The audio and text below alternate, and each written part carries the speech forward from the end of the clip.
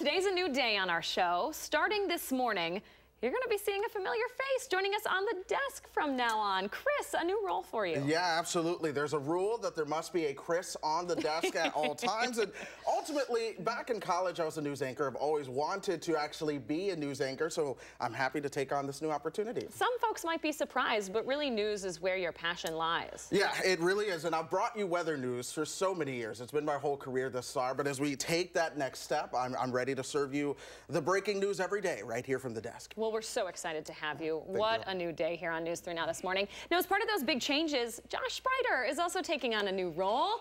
Say hello to your newest morning meteorologist, Josh. Hey guys, good morning. Yeah, it's been my dream to be a meteorologist ever since a little boy, and now with Chris moving over to the desk, they're giving me the opportunity to bring you the weather each and every morning. So here it goes.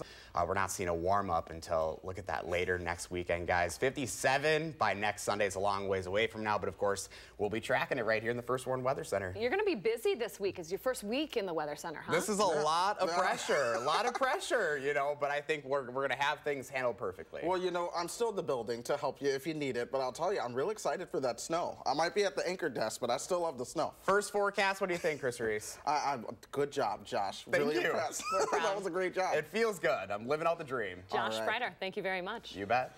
All right, just into the newsroom at this hour, we do have some breaking news. April Fools. Did you believe it?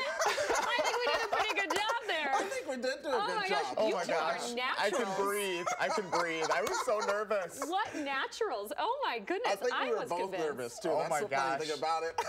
My heart has so been pounding all morning. I didn't sleep last night. all right, all right. We did it. We're going to return to some regular programming now. Yes, We're now we need to swap. seats. We need to swap positions here. Exactly. All right, I, Josh, I take guess the I'm news doing away. I'm doing double duty because I'm in the prompter right away again. Chris Reese. Yes, you are.